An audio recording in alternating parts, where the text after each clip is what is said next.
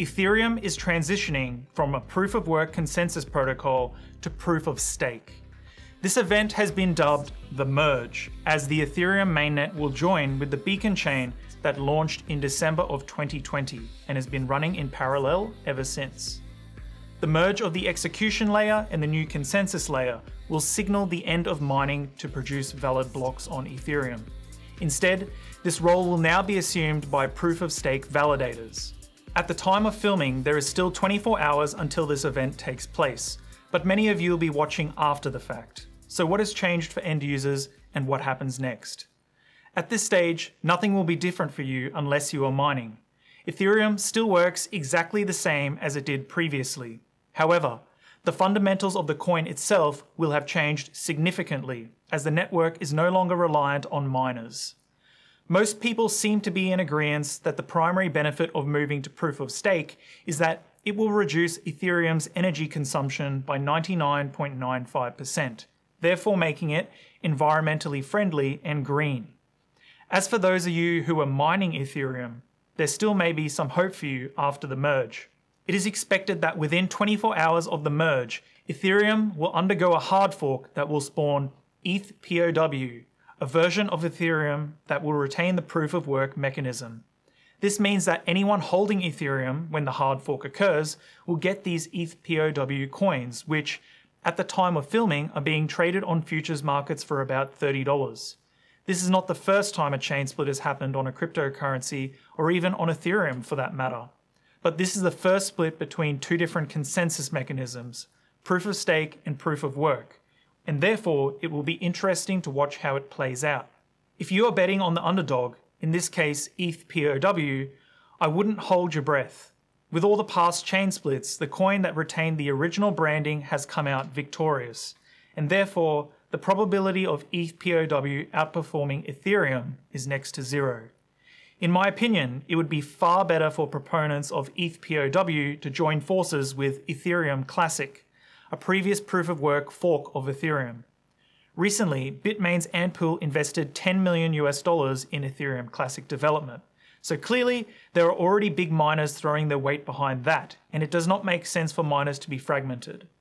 As for all other holders of Ethereum, they are viewing the split as being airdropped free money, which I'm sure the vast majority of you will be keen to sell off.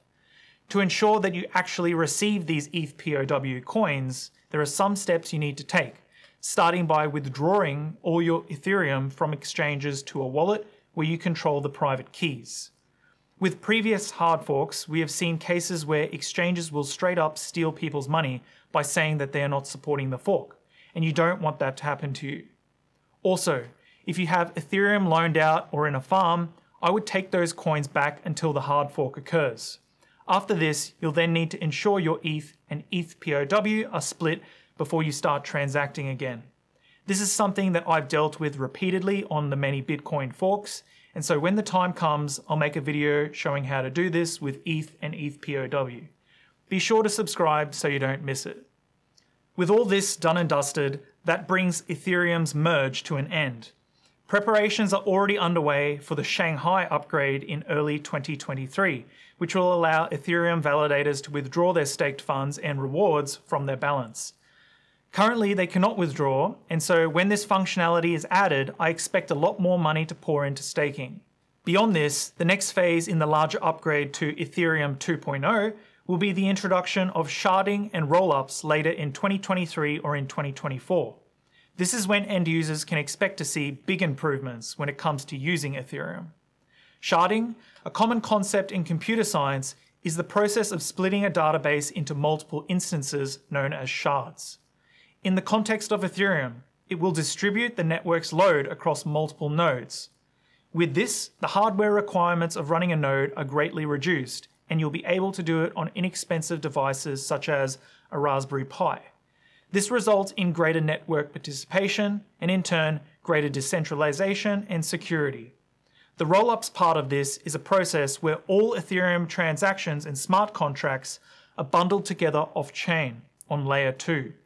A single transaction with cryptographic proof is then submitted to the main chain, greatly reducing the amount of data taken up by Ethereum transactions. Currently, Ethereum can process 15 transactions per second, but given that the demand is far higher than that, users have been experiencing long confirmation times and high fees. The combination of sharding and rollups directly addresses Ethereum's scaling concerns, allowing it to process a whopping 100,000 transactions per second. This will eliminate high fees when using Ethereum and possibly all those Ethereum killer blockchains spawned because of the congestion. At the recent Korea Blockchain Week, Vitalik Buterin himself has stated that with scaling solved, the payments use case will be coming back to Ethereum. This is incredible news given that this is exactly why I got involved in Bitcoin six years ago, when it promised to be a peer to peer electronic cash system. Sadly, that ceased being a reality with Bitcoin, and since then, most of the crypto ecosystem has lost sight of this goal. If these next few upgrades go through without a hitch, as the number two crypto, Ethereum is in a great position to overtake Bitcoin, and right now, I'm feeling extremely bullish.